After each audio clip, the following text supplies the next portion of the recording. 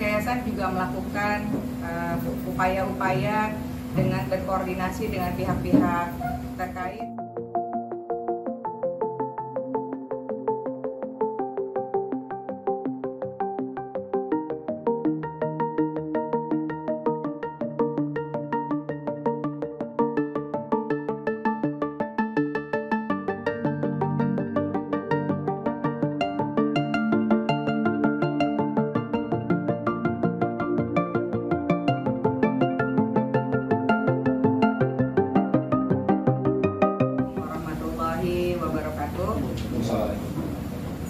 Kasih buat teman-teman media yang sudah berkenan hadir untuk mendengarkan pernyataan dari pihak yayasan atas kejadian yang menimpa SMK Lingga Kencana, eh, kejadian laka lantas yang terjadi di Subang kemarin.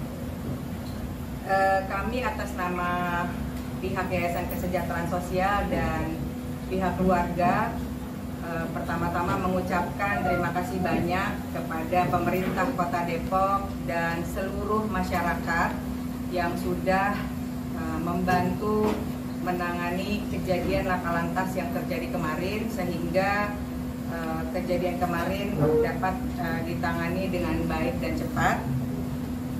Pihak yayasan juga melakukan upaya-upaya dengan berkoordinasi dengan pihak-pihak terkait sehingga kecelakaan kemarin eh, bisa ditangani dengan baik dan cepat.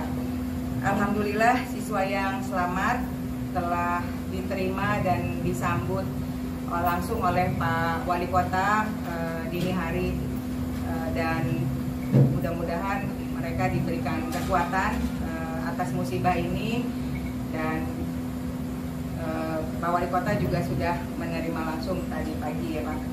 Siswa yang luka-luka sudah ditangani dan dirawat di rumah sakit eh, Bayangkari ya Pak, Primo dan ada tiga orang yang masih di Subang. Eh, terkait dengan jenazah yang wafat, eh, pihak keluarga dan pihak yayasan sudah melakukan prosesi pemakaman tadi setelah jenazah datang. Dan Pak Wakil Wali Kota juga sudah mengunjungi langsung untuk melakukan ucapan bela sungkawa kepada keluarga korban. Eh, jadi teman-teman eh, kami mohon doanya eh, pihak yayasan dan pihak keluarga agar kami kuat menerima musibah ini. Itu Pak, ada tambahan?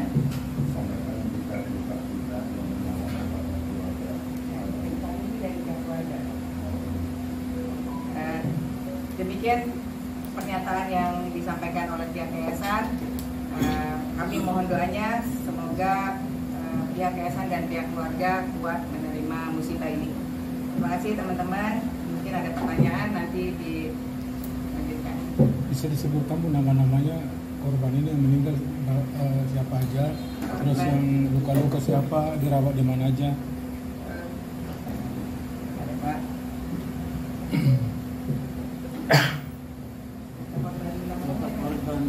mungkin dikasih info untuk uh, berapa siswa atau guru atau mungkin pihak-pihak panitia yang menjadi korban gitu. Eh, baik, eh, korban yang berangkat kemarin totalnya ada 157 eh, ada sini bu Kamera, Bu. Baik, eh, korban yang eh, kemarin yang berangkat 157, gurunya ada 28, siswanya ada 122.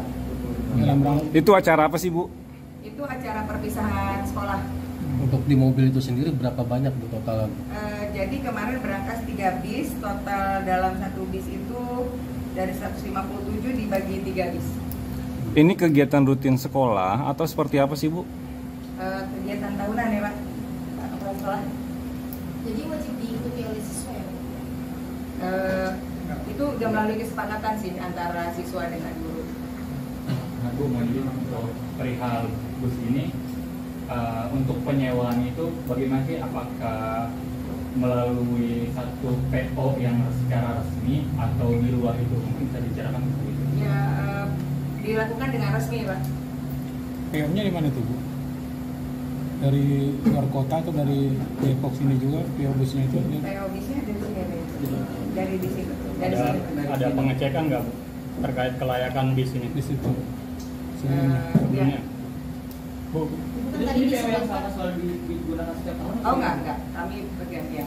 Bu, kalau tidak sama setiap tahun kenapa membeli PO itu di tahun ini pertama yang kedua tadi kan ibu bilang eh, PO-nya resmi tapi dari pihak eh, pemerintah itu dikonfirmasi kalau eh, busnya itu tidak berizin untuk untuk berkendara. tidak pada luasa sudah tidak layak berkendara terus eh, lalu ada protes dari wali murid yang mengatakan kalau misalnya eh, eh, yang pemberangkatan kemarin itu tidak sesuai dengan hasil rapat dengan wali murid katanya eh, wali murid meminta untuk eh, kondisi busnya untuk diperiksa lagi karena mengingat ada kondisi kecelakaan di SMP Perjuangan sebelumnya itu.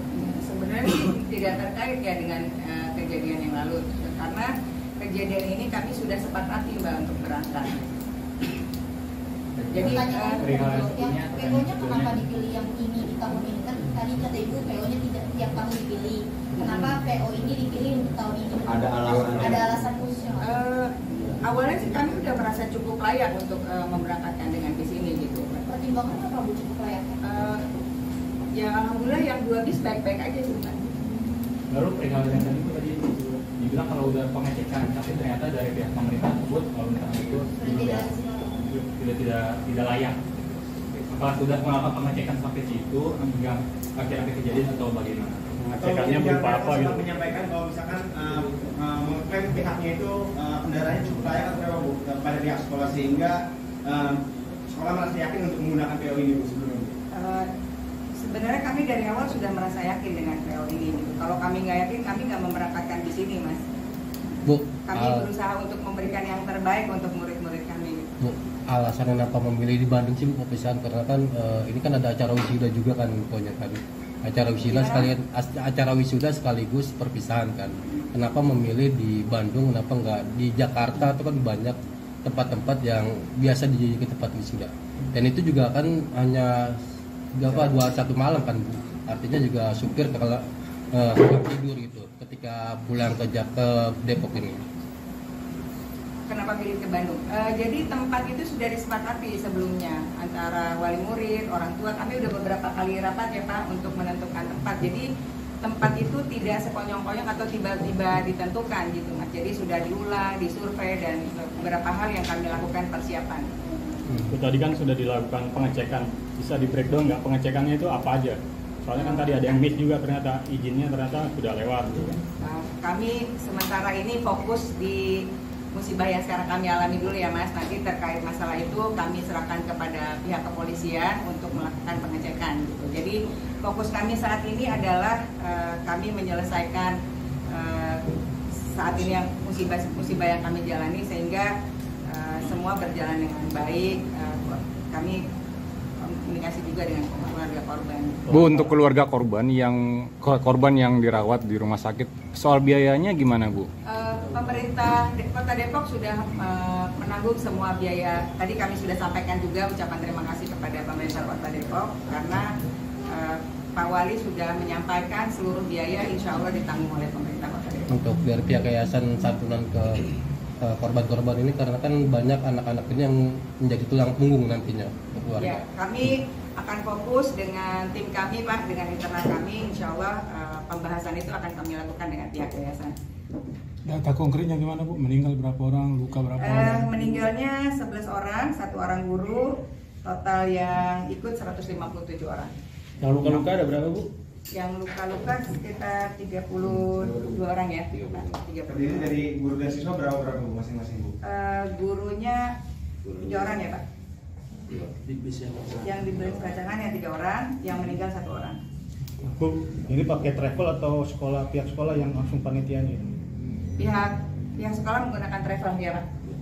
Berarti nanti pihak travel yang akan bertanggung jawab atau? Eh, kami fokus dulu aja Pak dengan kejadian yang sedang kami lewati ini. Karena ada- jadi kami belum merencanakan apa-apa, kami eh, fokus dulu sampai eh, ini selesai gitu. Kan ada tiga bus bu, yang dua hmm, PO yang sama, yang satu beda itu gimana tuh bu ceritanya? Bu? Iya, nanti kami akan koordinasi dengan pihak terkait tentang hal ini. Bu, bentuk kompensasi apa Bu yang diberikan pada keluarga korban meninggal? Eh, internal pengurus akan eh, rapat lagi mas setelah ini. Jadi saat ini memang fokus kami hanya sampai prosesi pemakaman dan kami akan melakukan rapat pengurus setelah ini. Bu, bu, Jadi berarti tadi yang dua bus itu satu PO dengan yang berbeda dengan bus yang silakan sih. Eh, kami belum ngecek sih mas, karena eh, belum sampai di situ. Kami masih fokus tadi saya bilang, eh, nanti kami akan koordinasi dengan pihak kepolisian. Itu nggak ada pemberitahuan dari travel bu soal perbedaan PO bus itu bu. Eh, kan tadi panitia dari travel apakah ada pemberitahuan untuk pihak yayasan atau sekolah bu terkait perbedaan ini bu? Ya, saya belum sampai di situ mas. Jadi kami memang karena dari kemarin kejadian ini belum belum sempat ngecek sampai di sana. Nanti kami akan koordinasi dengan pihak-pihak terkait. Oh, tapi berarti tetap LWP dan PO beda gitu bu dari bus itu PO-nya. Eh, nanti kami koordinasi lagi mas setelah Kan ini. ibu tadi bilang ibu yakin kalau ini aman, tapi ibu nggak bisa memastikan kalau tiga bus ini berasal dari yang sama atau berbeda dari mana tuh? Eh, nanti insya Allah kami akan cek lagi.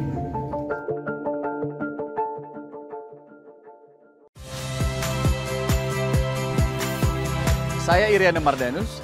Saksikan program-program Kompas TV melalui siaran digital, pay TV, atau media streaming lainnya. Kompas TV, independen, terpercaya.